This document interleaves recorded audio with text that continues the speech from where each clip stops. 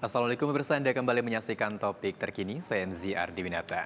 Pemirsa jalan provinsi dari arah kota Cianjur menuju Cianjur Selatan, Jawa Barat amblas sedalam 5 meter. Amblasnya jalan akibat tidak mampu menahan guyuran air hujan dengan intensitas tinggi. Beginilah detik-detik amblasnya jalan provinsi di Kampung Nagrak, Desa Bojong Petir, Kecamatan Tanggeng, Cianjur, Jawa Barat. Amblasnya jalan ini mengakibatkan separuh badan jalan tergerus sepanjang 20 meter dengan kedalaman 50 meter.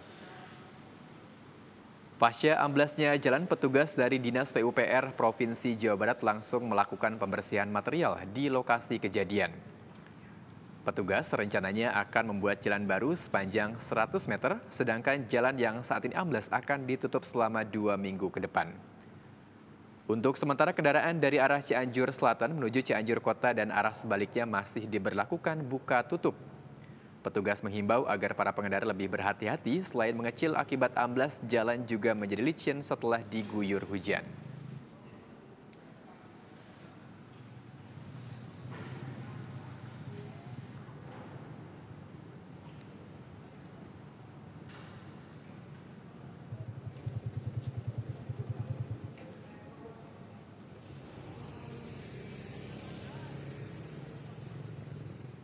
Demikian pemirsa topik terkini. Selamat kembali menyaksikan acara kami selanjutnya. Ayo pakai masker, ayo cepat vaksin. Saya MZ Ardiunata. Wassalamualaikum.